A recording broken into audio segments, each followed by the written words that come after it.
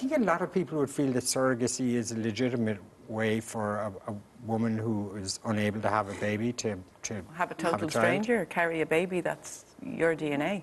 I don't think there's anything normal about it. We don't do it with animals, we don't do it with anything. In fact, we interfere with nature. Where does it end?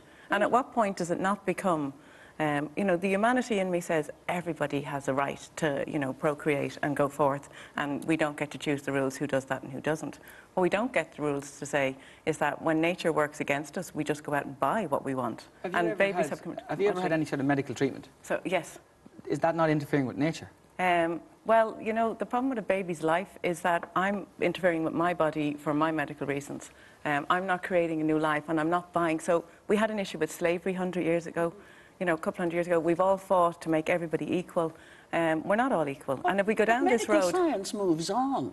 And if you can use medical science to help you, I mean, time was you could, um, you know, you, you died of typhus. Um, well, you still do in some of the African countries.